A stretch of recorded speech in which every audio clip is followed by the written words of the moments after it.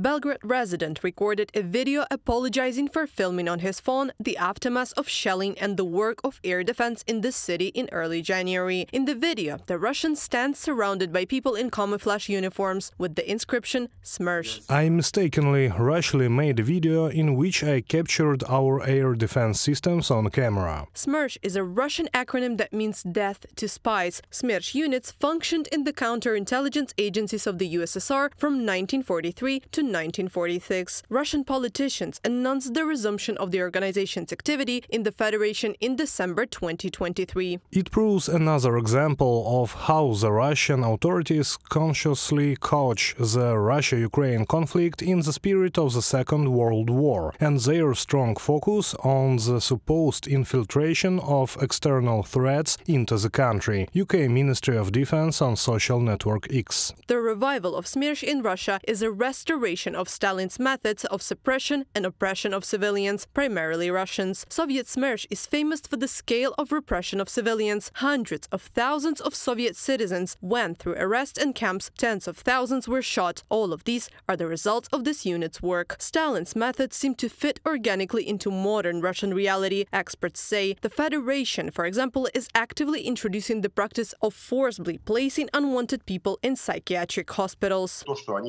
What dictators claim schizophrenia and abnormality is actually an indicator of normality and more advanced human development. If he still wants to say some right things despite the risks, then in fact he is much more developed than all of them. And that's the most unpleasant part. It turns out that punitive psychiatry harms people who are better than the people who persecute them. It is not known how many Russians in total are subjected to forced psychiatric treatment because of their anti war stance or disagreement with the Kremlin. Human rights activists speak of dozens such cases, but they assume there is much more. It is also difficult to calculate the scale of repression in general. The repression is indeed increasing. In the past year, there has been such a trend among ordinary people. For example, an artist who changed price tags. We are talking about hundreds of people in the regions who are being prosecuted in cases about fakes. Their lives are simply being ruined because the sentences are not small and the authorities intend to highlight all this in the media. According to the Top 10 VPN project, in 2023, the Russian population is the most affected by internet restrictions. After the start of Russia's full scale invasion of Ukraine, the Kremlin focused its efforts on fighting freedom of speech and dissent. In 2023,